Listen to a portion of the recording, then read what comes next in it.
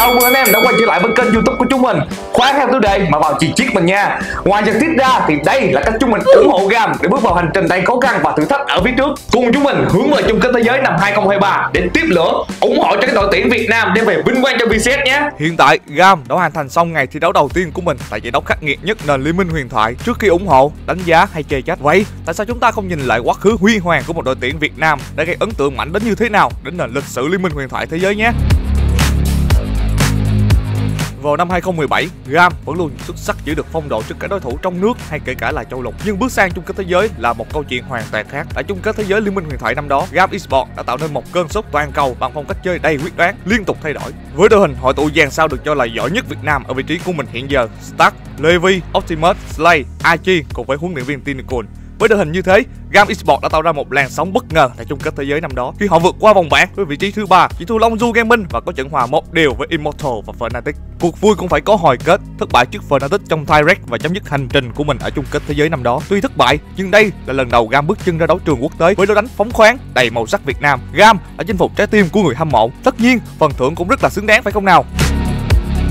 Kể từ sau trận thua trước Fnatic, phải mất một năm, Gam mới lấy lại mình trên hành trình chinh phục chiếc cúp mơ ước của bao nhiêu game thủ. Tuy nhiên vào năm đó, Gam đã kết thúc hành trình của mình bằng thất bại không thể nào thảm hại hơn. Dù cho nhận được rất nhiều sự kỳ vọng của người hâm mộ với dàn đội hình chất lượng rải đều mọi vị trí, nhưng Gam lại thể hiện một bộ mặt bạc nhược và chỉ có duy nhất một trận thắng trước Tem. Năm 2020, Gam tưởng chừng đã mất tấm vé tham gia chung kết thế giới, nhưng nhờ lấy lại phong độ ở những thời điểm quan trọng, Gam đã có cho mình tấm vé cuối cùng bước vào chung kết thế giới năm 2020. Tuy nhiên, do dịch bệnh và Riot Game đã thay đổi thể thức, đã khiến Gam đã không thể tiếp tục viết tiếp cuộc hành trình của mình. Tuy Gam năm đó không thể, nhưng chúng mình thì có thể giúp anh em vẽ nên giấc mơ của game thủ chuyên nghiệp mà anh em nào mơ ước với một máy gaming tải nhiệt nước chỉ với giá 15 triệu đồng sẽ luôn là cây bút hỗ trợ đắc lực cho anh em trên con đường game thủ chuyên nghiệp.